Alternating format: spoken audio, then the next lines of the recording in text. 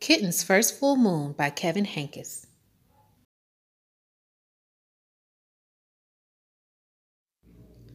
It was Kitten's first full moon.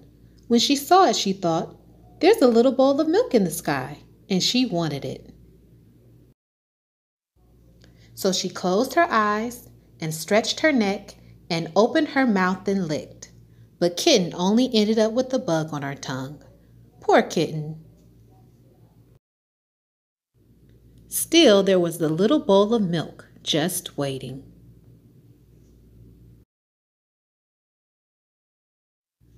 So she pulled herself together and wiggled her bottom and sprang from the top step of the porch. But Kitten only tumbled, bumping her nose and banging her ear and pinching her tail. Poor Kitten.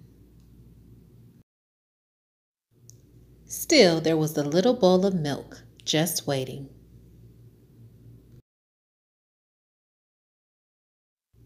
So she chased it down the sidewalk, through the garden, past the field, and by the pond. But Kitten never seemed to get closer. Poor Kitten. Still, there was a little bowl of milk just waiting. So she ran to the tallest tree she could find, and she climbed and climbed and climbed to the very top. But Kitten still couldn't reach the bowl of milk, and now she was scared. Poor Kitten, what could she do? Then, in the pond, Kitten saw another bowl of milk, and it was bigger. What a night!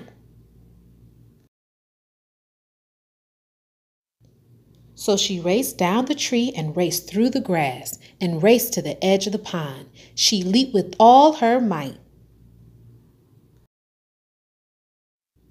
Poor kitten, she was wet and sad and tired and hungry so she went back home.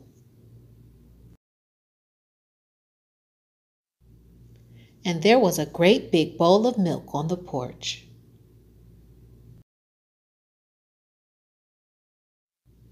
Just waiting for her. Lucky kitten.